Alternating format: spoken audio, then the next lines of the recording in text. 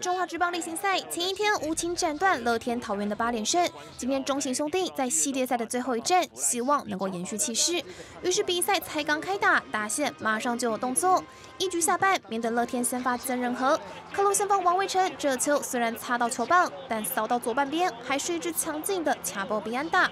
小白球一路滚到三垒最后侧的观众席前，有早晨的二世马上就来到二垒得点圈。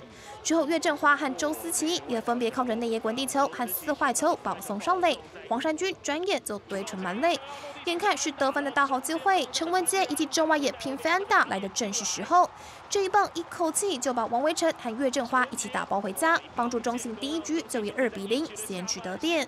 另外六局下，岳东华的安打帮助球队再下一城，搭配先发投手吴哲渊，全场六局五安，没有失分的好投封锁。六局打完，黄山军以三比零暂时领先。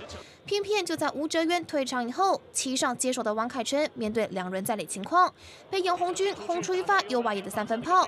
黄山军前面建立的优势，瞬间就被乐天以三比三将战局扳回原点。而且最后九上的进攻机会，暴力员攻势再起，先是靠着出生球和安打攻占一三垒。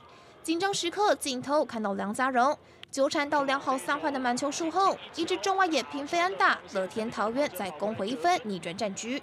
反观黄山军九下连续被抓下三个出局数，中场四比三，乐天桃园踢馆成功。华体育台综合报道。